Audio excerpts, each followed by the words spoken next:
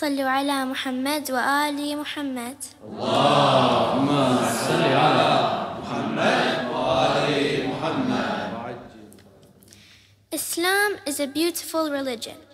Anything done wrong is forgiven. The Prophet brought mercy to mankind, yet enemies still abuse the women they can find. And then there's Zainab alayhi salam, daughter of Ali, granddaughter of the Prophet. They were mistreated and underestimated, but tried their best to stop it.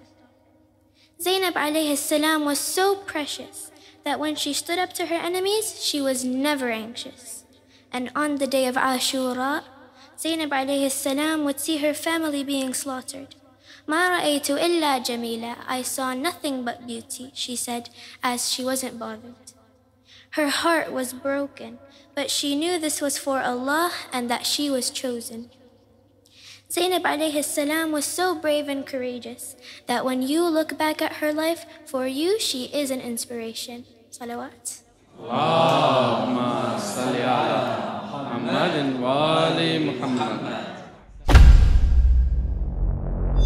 The Zahra Trust, changing millions of lives every year.